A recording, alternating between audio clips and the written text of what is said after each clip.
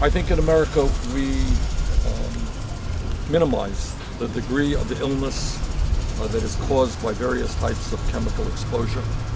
Uh, the idea, that children are coming down with one ailment after another because they're breathing uh, chemicals in the air clearly is not acceptable to me.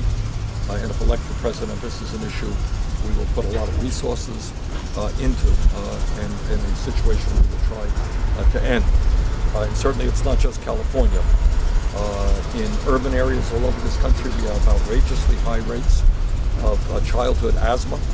Uh, and this is something that when we talk about healthcare, we have to understand that these type of pollutants uh, cannot uh, be allowed to continue uh, to poison the children of our of our country. second of all, it is my view that not only because of the pollutants, not only because of the release of methane, but because of the concern that many of us have about the future of clean water in the United States of America. Uh, we have got to end fracking. Uh, it is just not worth uh, the risk uh, to poison uh, our aquifers uh, at a time when we are seeing the kind of damage we are from climate change and drought. We have to be very, very conservative in making sure that we protect our water supply and fracking moves us in exactly the wrong direction.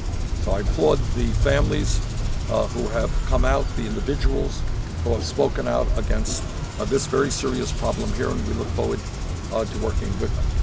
Uh, any questions on uh, environmental issues? Senator, you heard from the families uh, from Porter Ranch who were affected by the natural right. gas leak. What can be done on a federal level to help these people? Well, a lot can be done. Uh, we have to hold uh, the companies accountable.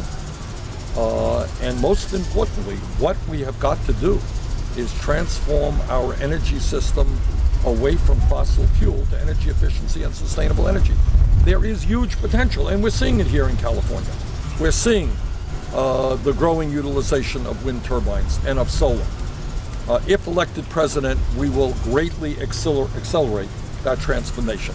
We have the technology now, we have the knowledge, uh, and research and development will only make uh, sustainable energies uh, even more cost effective. But right now we can do a lot more with solar, we can do a lot more uh, with wind, with geothermal, and with other technologies.